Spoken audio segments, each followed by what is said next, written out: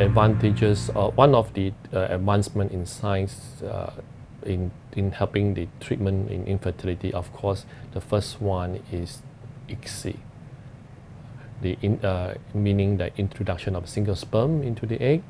Now, with that treatment, ICSI is such an effective treatment for male infertility that is so effective that men who had who have no sperm found in the ejaculate now can even get sperm from the testes and inseminate into the egg and get embryos and babies born from their healthy children.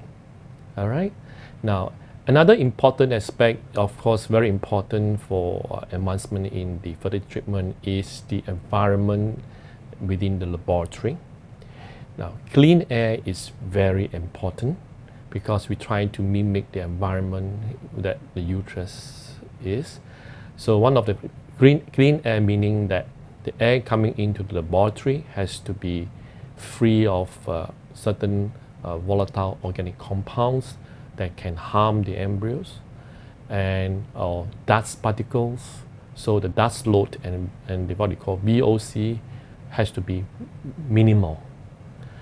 Now, another aspect of advancement is that the, the incubator environment, whereby the embryos are being grown with, for the next few days, for the, like these five days.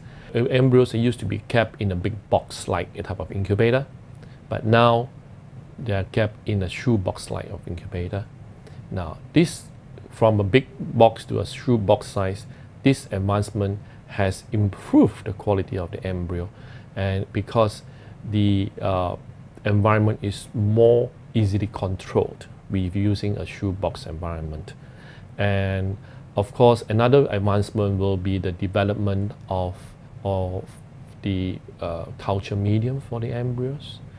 Now, in the beginning, when I first started the IVF practice, uh, we had to make our own uh, culture medium we have to find out what sort of nutrients to add in and how good they are and purified.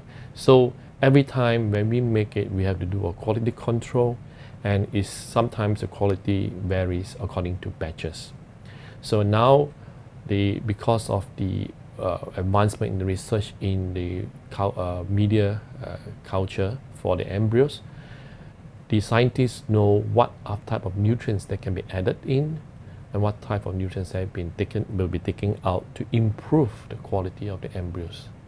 And that in that aspect, so the, uh, the embryos grow very well and you need not have to uh, transfer more than one embryo as used to be about more than 10 years ago where you transfer three, then go to two embryos. Now we can transfer one embryo a blastocyst stage, the final stage of embryo development before implantation.